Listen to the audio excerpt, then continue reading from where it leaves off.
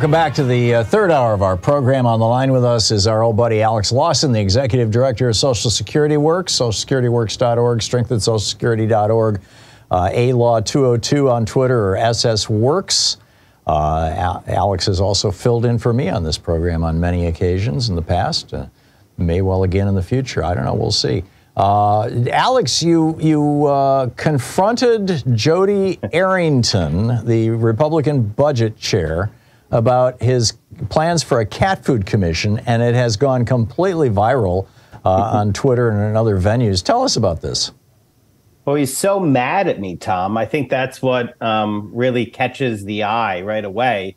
Uh, he's yelling at me. Ryan Grim tweeted it out, um, and you know he was joking that he hadn't really seen uh, members of Congress chasing the activists before, which it totally looked like he was, and a lot of people were wondering why. And it's because it's exactly what he is trying to do, is what I was saying. I was just asking him, why are you trying to cut our Social Security benefits? Why are you reaching your hand uh, into our pocket to cut our benefits with a commission, which is literally what he had been doing right before was he was chairing a hearing about the need to set up a commission to cut Social Security and Medicare. And he was super angry at me that I had the audacity to point that out. Jeez. These Republicans, I mean, you know, it's just incredible that they think that they think that nobody's noticing. I, I mean, it's, just it's just mind-boggling. So tell me about the the commission that uh, Jodey Arrington and other Republicans in the House and Senate are talking about putting together it's simple. It really is. You know, you called it the Cat Food Commission, and I that's uh, it, you know, uh, it it is uh, a sad joke uh, because it's true. That's what you know it was called back when it was the BS Commission, and the reason is it's a commission with only one purpose: to cut Social Security and Medicare. It's a commission set up as a Social Security death panel. That's the only thing that they're talking about and they're pretty open about it. You can uh, watch Jodey Arrington open the hearing saying things like, "You know, we're uh, it's all about Social Security and Medicare."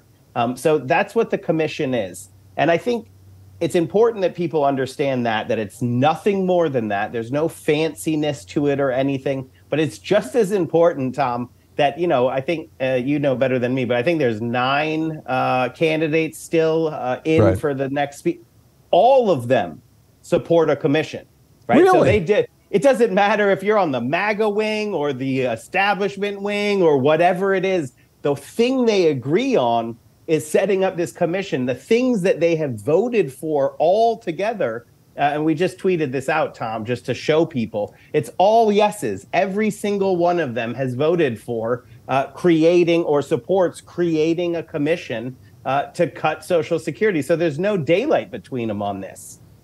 Wow. I call it a cat food commission because basically, you know, if they cut Social Security enough, older people are going to have to start eating cat food because they can't afford human food.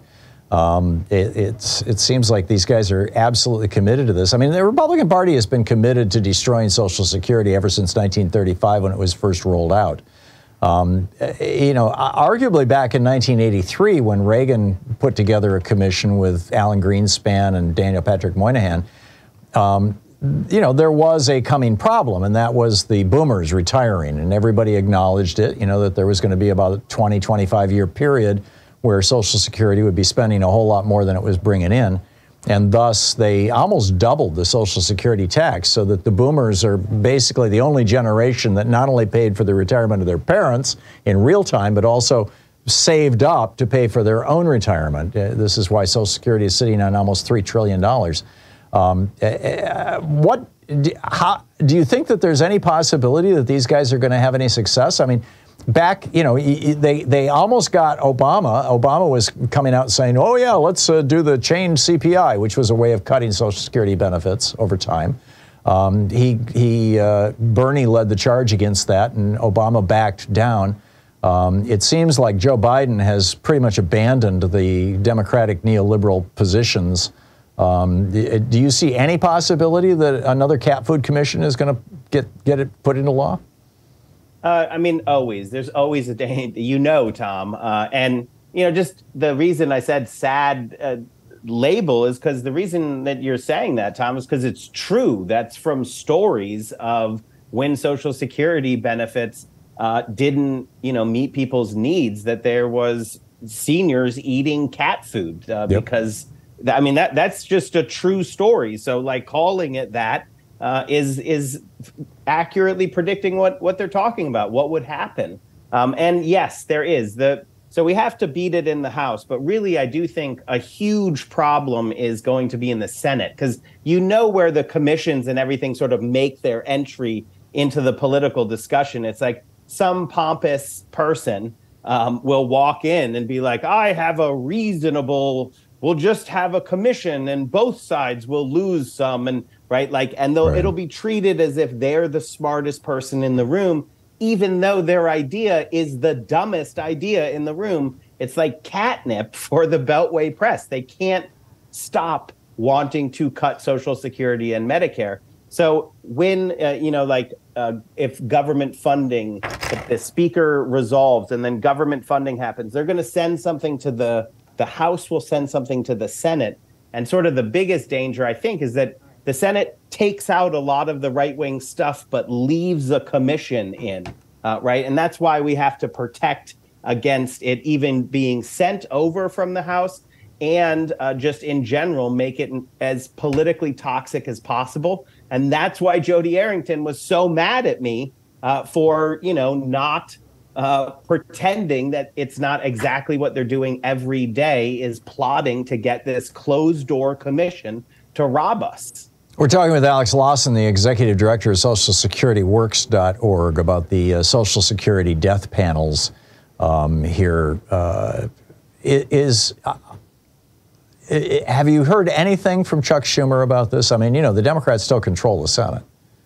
Yeah, I think that um, we're doing decently well in the Senate, uh, but you do have, you can look at some, um, you know, pre- sort of previous stories that I don't know um, where you had like Angus King and Tim Kaine talking about the King Cassidy proposal, which we talked about, Thom, and again is nothing more than a trick where you know the Republicans try to dress up their more than twenty percent cut uh, before the action forcing event uh, in 2033, which is when that pre-funding of the baby boomers' retirement, the trust fund, would go down, and then uh, benefits would just match revenue, right? And so we all agree that in a decade, that benefits going down by 20% is a huge problem. And that's why I asked Jodey Arrington, would you raise taxes on the wealthy to prevent that benefit cut on your constituents? And he would not reply, Thom. He was terrified of that question because we know what the answer is. He will never raise taxes on the wealthy, even though that's the obvious solution to the problem. He just wants to create the problem sooner. And it's not even really raising taxes on them. It's it's bringing their tax rate to be identical to that of the average American worker. Absolutely. Uh, the vast majority of Americans pay in on all of their income. It's just that's the way of life for the vast majority of the American people. But billionaires pay in on a tiny, a minuscule fraction uh, of their income. And all we have to do is have millionaires and uh, billionaires and the ultra rich pay their fair share, which I mean, pay into Social Security on all of their income, just like the rest of us do. Uh, and we can expand benefits. We can ensure Social Security has, you know, another uh, uh, has more than a, a century uh, of solvency ahead of it. So, I mean, the solution is simple, and what we're fighting over is simple. The Republicans know that they need to try to get something done in the dead of night as quickly as possible now uh, to make it all happen on the benefit side. While we're not paying attention, they're going to stick their hands in our pockets and rob us. As we get closer to 2033, it's going to be clearer and clearer that we need to raise taxes on the ultra wealthy to prevent a benefit cut to Social Security. It's wildly popular. Uh, Instead of calling it raising taxes, let's call it equalizing taxes. Equalizing. Let's do that. That's what it is. Why, why use their rhetoric, you know? Totally. Uh, so I will say that that is uh, also, I think, how you're you're always looking at right around 10% uh, is the is the people who don't support doing this you're at 90% of americans republicans independents democrats uh, who all say the path that i would choose if i were given the choice to uh, equalize taxes on the ultra wealthy versus cutting benefits they all uh, would equalize taxes and the question they'll even say we'll raise taxes on people um, they just don't want their benefit cuts. Yeah. Uh, people understand that deeply. I totally get it. I totally get it. Alex Lawson, great information. Alex, thanks so much for dropping by today. Thanks, Thom. And for the great work you're doing there at socialsecurityworks.org. It really is, you're, do, you're doing God's work.